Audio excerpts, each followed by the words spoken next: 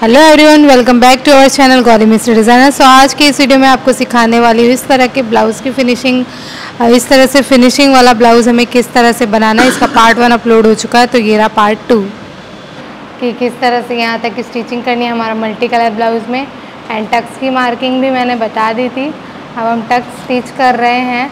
अस्तर और main fabric दोनों में सिलाई टक्स की हम अलग अलग करेंगे ताकि कवर हो जाए.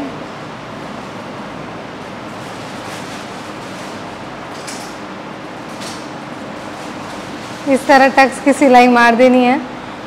फिर हम गले की फिनिशिंग देंगे। आगे और पीछे दोनों गला का फिनिशिंग हमारा साथ में हो जाएगा।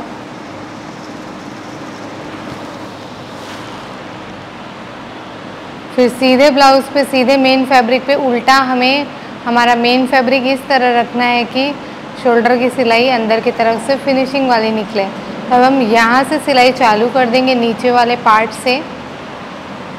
और इस तरह से स्टिच कर लेंगे। पूरे नेक लाइन पे स्टिच कर लेना है। नेक को बिल्कुल भी खींचना नहीं है। जब आप गले पे सिलाई मारो तो गले को मशीन की तरफ़ से तरफ़ पुश करना है, यानी कि मशीन की तरफ़ धक्का देना है। अपने तरफ़ खींचना नहीं है। अगर खींचोगे तो गला बढ़ जाएगा। और इस फोल्डिंग वाले नेक बनाते टाइम समय आपको एक बात की ध्यान रखनी होगी। वो मैं आपको सेकेंड स्टिच में बताऊँगी। आपको पार्ट वन कैसा लगा? ये सारे पार्ट्स जब मैंने ज्वाइन किए, वो ज़रूर कमेंट में बताइएगा। वी प्रॉपर शेप बना दिया है। शोल्डर टू शोल्डर अच्छे से ज्वाइन करना है मैच करना है मतलब। शोल्डर इधर उधर खिसकना चाहिए, नहीं चाहिए। सेंटर पॉइंट भी परफेक्ट मैच होना चाहिए।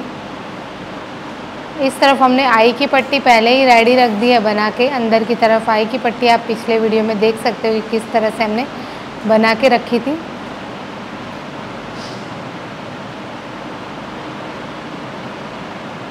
ये दोनों सेम होना चाहिए हुक और आई का पट्टी। अब अस्तर जो भी एक्स्ट्रा हो रहा है शोल्डर से नीचे तक वो हम नीचे से निकाल रहे हैं। अब सेकंड स्टिच मैंने यहाँ तक इस तरह कर दिया। अब गले में सिलाई मारते वक्त आपको गले को इस तरह कंट्रोल में करना है, यानी कि गले को एकदम ऐसे लूज़ लूज़ रखना है, ताकि गला जो है श्रिंक हो जाए, यानी कम हो जाए। मान लीजिए आपने 10 का गला काटा है तो 9 इंच हो जाना चाहिए सिलने के बाद। 11 नहीं होना चाहिए। अगर 11 हुआ तो हमारा नेक खिंच जाता है। तो इस तरह एकदम लूज़ लूज़ नेक को रख रख के स्टिच करना है, ताकि आपके बॉडी पे एकदम फिट हो जाए, अंदर बैठ जाएगी स्किन में। डबल सिलाई हो गई। अगर आप बिगिनर हो तो आप तीन सिलाई भी मार सकते हो। अब कट लगा लेंगे वी में। डीप कट लगाना है हमें। कर्व शेप में भी कट लगा लेंगे।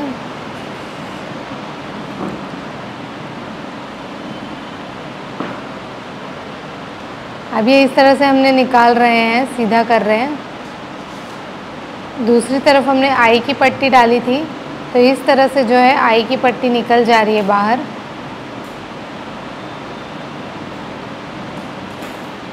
देख सकते हो शोल्डर दोनों तरफ़ से फिनिशिंग हो गई और हमारी आई की पट्टी भी बाहर आ गई है।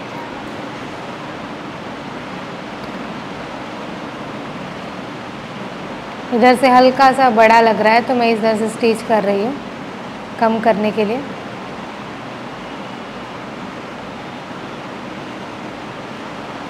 अब जो हम फ्यूजिंग टेप का यूज़ करेंगे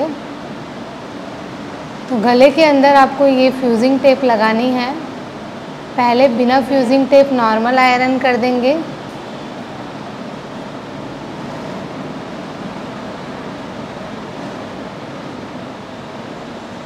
फिर हमें ये फ्यूजिंग टेप अंदर की तरफ़ रखनी है इस तरह और आयरन कर देनी है।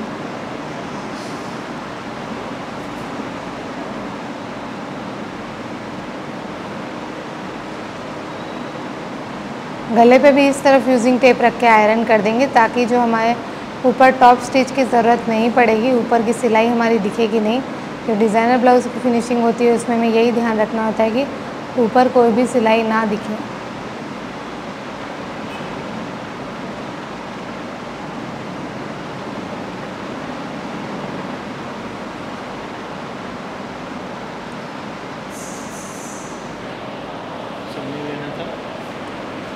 लेना है।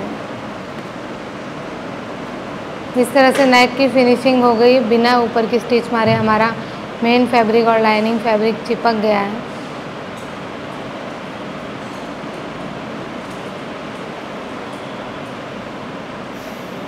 एकदम कड़क हो गया है स्टीम से।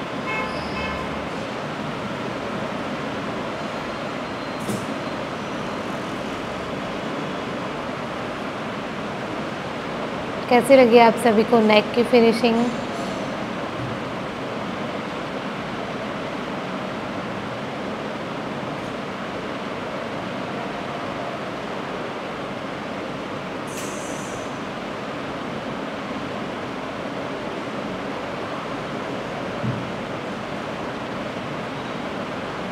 अभी हम एक बार कप्स पे भी आयरन कर लेंगे।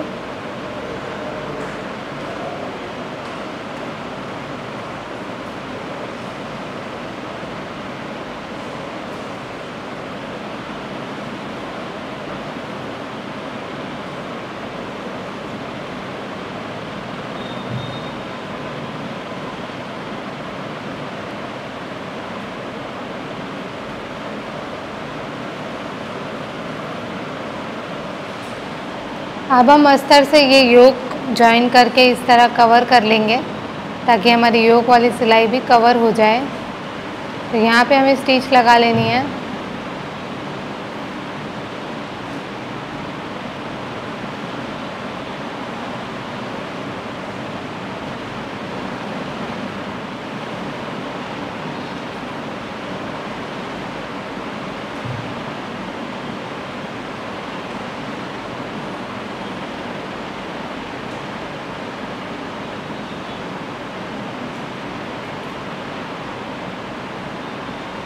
योग नीचे ही अस्तर वाला योग अटैच कर लिया है। और जैसा ही सामने तरफ़ से, सीधा तरफ़ से दिख रहा है, वैसे ही हमारा अंदर की तरफ़ से फिनिशिंग दिखेगा।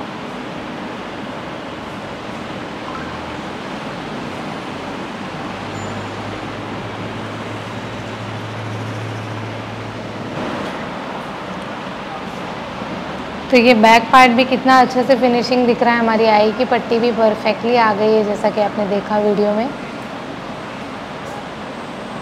कप्स का शेप भी हमारा परफेक्ट आ गया, अंदर और बाहर दोनों तरफ़ से फिनिशिंग जो है सेम है।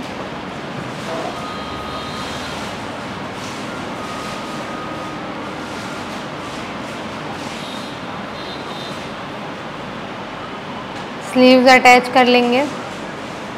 फ्रंट और बैक का ध्यान रखते हुए। स्लीव अटैच करने के बाद यहाँ पे साइड फिटिंग करनी है।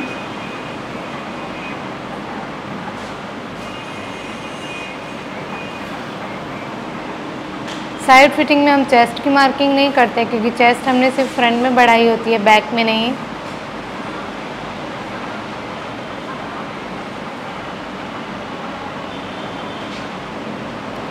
चेस्ट अपर चेस्ट का आधा मार्क करेंगे चेस्ट का नहीं अपर चेस्ट का आधा प्लस आधा इंच लूजिंग और कमर का आधा, और प्लस अगर आपको आधा इंच लूजिंग चाहिए तो आपको मार्किंग उसके हिसाब से कर लेनी है।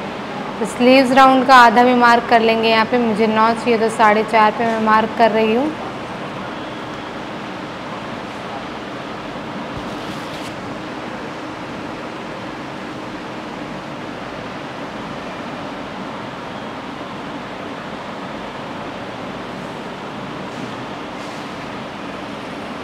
आप सभी को ये ब्लाउज़ की फ़िनिशिंग कैसी लगी? शोल्डर की फ़िनिशिंग योग की फ़िनिशिंग सब मैंने डिटेल में समझाने की ट्राई की है।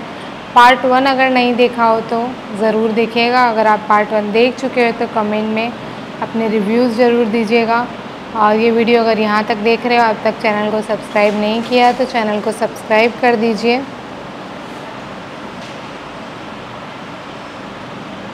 अभी हमारे ब्लाउज़ में सिर्फ़ साइड स्टिचिंग और आर्मोल में हमें इंटरलॉक करने की ज़रूरत है।